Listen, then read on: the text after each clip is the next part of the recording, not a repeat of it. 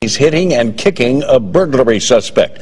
For more than nine months now, we have been following the story of Chad Holley, the teenager who said he was beaten by police during his arrest. Four officers have been charged with crimes for the incident, and tonight, for the first time, we are getting to see the video. 13 Undercover's Wayne Dolcefino is here with that video. Wayne? Yeah, Gina and Dave, tonight every single patrol cop in this city has been told the video is out there. The mayor wouldn't let you see it, nor the district attorney or the police chief. We've all been told it's too graphic, disturbing for the public. And we remind you that it is, as we show you the video that so many Houstonians have wanted to see.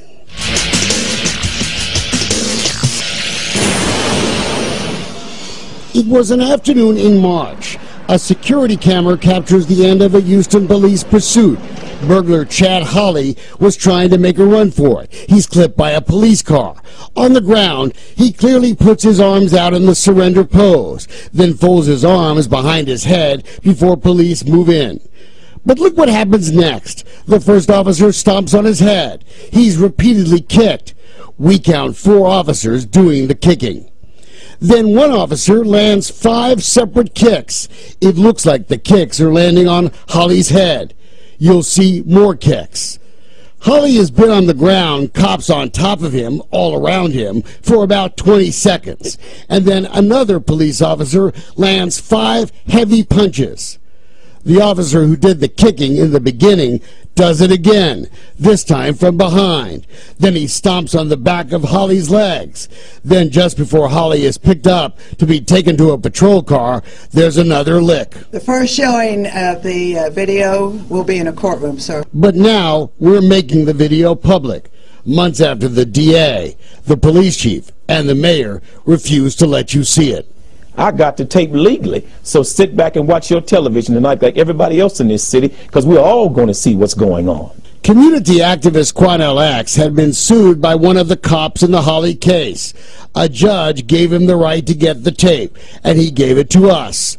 Just minutes after we made our copy, the federal judge who had blocked release of this video was on the phone trying to stop its release. It was too late.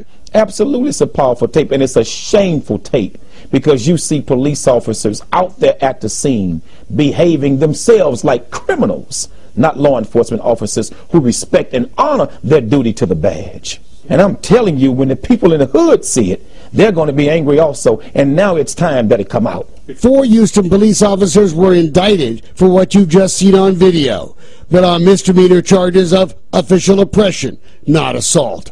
I want to know how in the hell did they do what they did to that boy on that videotape and they only got charged with official oppression? Twelve officers were punished in the wake of the Holley case. Many of them have been given their jobs back against the city's will. And you can see the whole video again on our website at abc13.com. And the four officers who were indicted have all pled not guilty. Wayne Dolcefino, 13, undercover.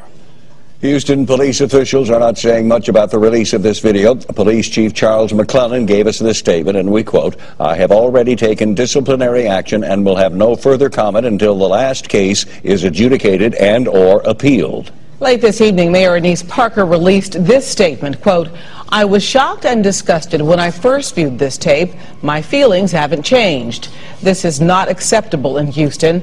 The city of Houston has fully supported the district attorney's desire to keep this video from being released prior to trial because we did not want to do anything that could jeopardize the prosecution of the police officers involved.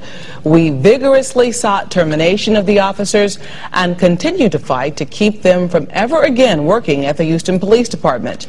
Whoever provided the video to Channel 13 is in violation of a federal court order and should be prosecuted. It is unfortunate and irresponsible that Channel 13 has chosen to air the material at this time, end quote.